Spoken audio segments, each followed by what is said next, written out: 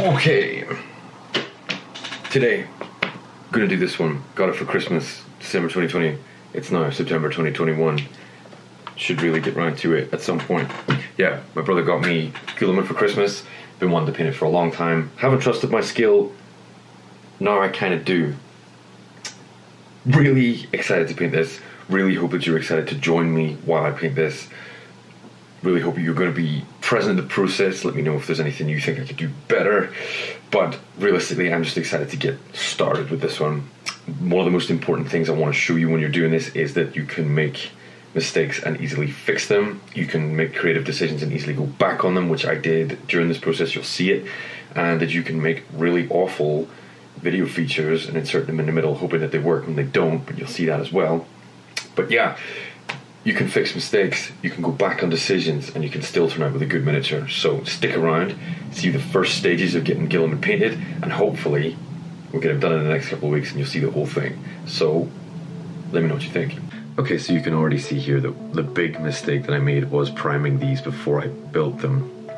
But I did that in December of 2020 and not in 2021. It's taken me nine months to get around to building this, but here we are. I was since told not to do this, and I've learned why not to do this. So all my models since then haven't been pre-primed, but um, took me a little bit while to learn. But here we are, still sort of working on from that. There are ways that I get around this problem of pre-priming my models. Most of them involve filing, as you can see here, but there's another method that I use for the more, well, the unfileable kind of pieces, which involves just, yeah, getting nice and close. Use a craft knife to just gently scratch away the top layer of paint. You don't want to wear into the model, otherwise the joint will be misshapen, but if you can be very, very light with a craft knife, you can remove that top layer of primer and just remove it so that the plastic can be bonded more effectively whenever it comes time to build once I've got everything sort of filed and ready, um, I mounted these cotton buds on white tack on top of my old uh, palette and then mounted the armor plates on top and then got to, down to building. Really, you know, you can see there I'm doing the scratching method again. It's really, really straightforward, just getting everything nice and bonded and strong. Here's what it looks like just before I started painting. Now, to test our paints, we needed a new feature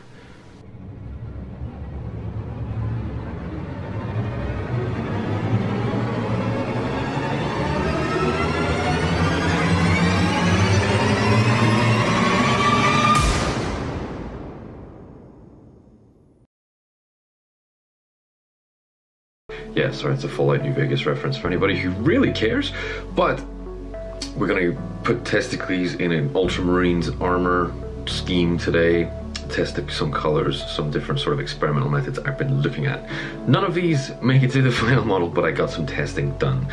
I used this sort of sample marine that I got free from a Games Workshop store they gave it to me to practice painting on, and that's what I'm doing. So I tried sort of combinations of purple, some Kantor blue, ultramarines colors, different blues, different purples, just to try and see if I could bring out a darker undertone to the ultramarines blue. And unfortunately, I didn't go with any of these, but we still value Testicles for his contribution to this model, and hopefully he'll come back in future, probably in different armor, just to give us some insight into color testing.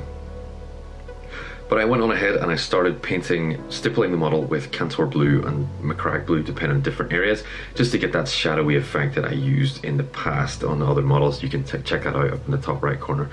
Yeah, went through the Kantor Blue, and then on top of that, with the Calgar Blue, tried to stipple it again, give it a bit more of a lighting effect. After that, I went with the Fenrisian Grey, just to dry brush highlight everything, just to see if I get that same lighting effect that I'm used to getting with my other models. I know this one's slightly different, but I thought if I wanted the same approach, I would get an interesting kind of effect because this is more detailed armor. If I could catch the edges more differently, it'd be more interesting. But then I started trying to do the details with Averland Sunset, try to take a yellow base color like I've done with gold before, layer it down and just hopefully build some gold up off the top of it. Wasn't really too happy with this to start with, but as it went on, it gradually started to bring out those extra details and it did look pretty good. Wait, what am I thinking? It didn't look good at all. So I went back to the start, got my Kantor Blue just for that darker undercoat.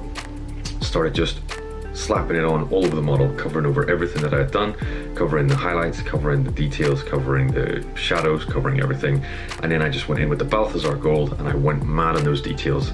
Don't know why I ignored the Games Workshop recipe to start with, but I'm in there now, got that dark undercoat and I'm using the Balthasar Gold just to get those details in. And this is how it looks now. This is how it looks so far, just the two base coats on, the base of Kantor Blue and the base of Balthasar Gold. I'm honestly really excited to get more details done in this because with this minimal color scheme now, it looks absolutely fantastic. So, I'm really happy with that. I'm super excited to see where it goes. I've just assembled it from the two pieces you've seen there, waiting to do the head next. But it's good to get those primary bits out of the way so we can move on to highlights and details, which we'll do next time. But I hope you enjoyed seeing how my processing worked with this and how I went back on my mistakes and sort of updated some stuff.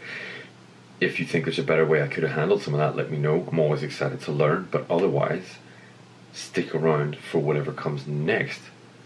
Subscribe if you're not subscribed, like the video if you enjoyed it leave a comment. Lots of people leaving comments, which I really appreciate. It's always good to talk to people about what's going on. Show me your painting product projects. Sorry, link your videos down below. Want to see all kinds of stuff. So yeah, thank you for joining me. Really excited to get this model progressed and finished. See you next time.